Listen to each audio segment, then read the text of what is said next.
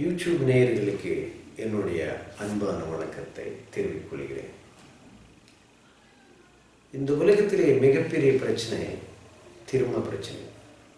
மட்டுமில்லாமல் இன்னொரு மிகப்பெரிய பிரச்சனை இருக்கிறது.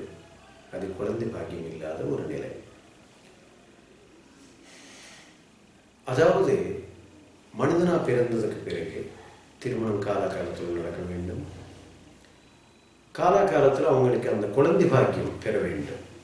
புராண காலங்களிலிருந்து நீங்கள் பார்க்கும்போது மாபெரும் அரசர்கள் மன்னர்கள் இவருக்குள்ள குழந்தை பாக்கியம் இல்லாத பல வருஷங்கள் பகவான் பரம்பொருள் சிவபெருமானை நோக்கி தவம் பண்ணவங்க. மழலை பாக்கியம் பெற்றவங்க ஏராளமான பேர் உண்டு. இந்த குழந்தை பாக்கியம் இல்லாத நிலை எவ்வாறு ஏற்படுகின்றது? நமக்கு தெரியும். அதாவது இந்த ஜென்மத்தில் ஒரு குறை ஏற்படுகிறது என்றால் அந்த குறைக்கு காரணம் முன் ஜென்மத்தில் நாம் செய்த தோஷங்கள்.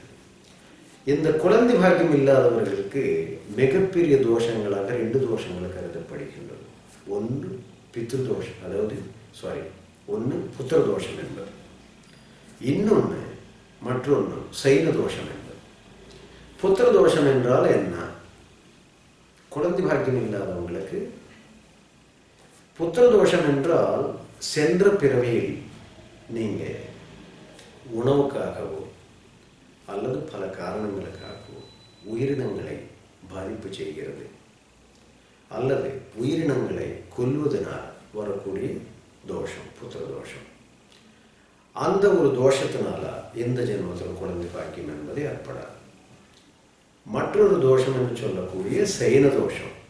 சைன தோஷம் என்றால் ஜெனட்டிக் வீக்னஸ் இன்று சயின்டிஃபிக் வழியாக சொல்லணும் என்றால் ஜெனட்டிக் வீக்னஸ் சொல்லக்கூடிய அதாவது வி விந்து அணுக்கள் குறைபாடு அல்லது கர்ப்பப்பையில் ஏற்படக்கூடிய சிதறுகள் அல்லது அதில் ஏற்படக்கூடிய டியூமர்ஸ் இது போன்ற எண்ணற்ற காரணங்கள் நீங்கள் சயின்ஸ் ரீதியாக பார்த்தாலும் சரி ஜோதிட ரீதியாக பார்த்தாலும் சரி அதுக்கு ஒரு பர்டிகுலர் ரீசன் இருக்காது.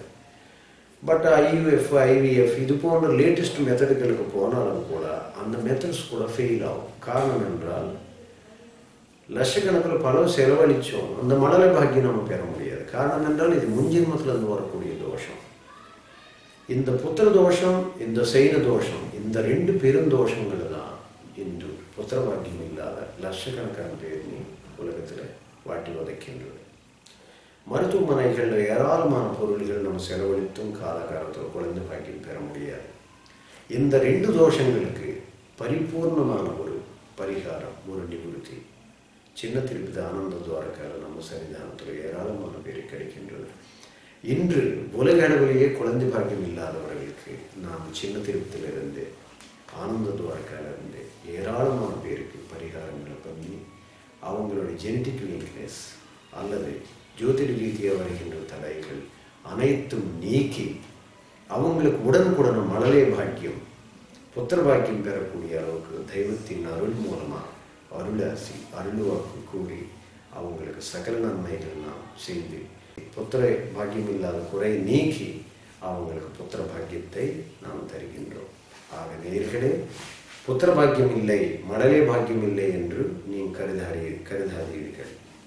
குழந்தை பாக்கியம் இல்லாதவர்கள் எங்களை அணுகி உடனுக்குடன் குழந்தை பாக்கியம் பெறக்கூடிய அளவுக்கு ஆற்றல் மிக்க ஒரு தெய்வீக அனுகிரகத்தை அருள்வாக்கம் மூலமாக அருளாசி மூலமாக நாம் ஆனந்தத்வாரக்கால் இருந்து உங்களுக்கு கொடுப்போம். நன்றி வணக்கம்.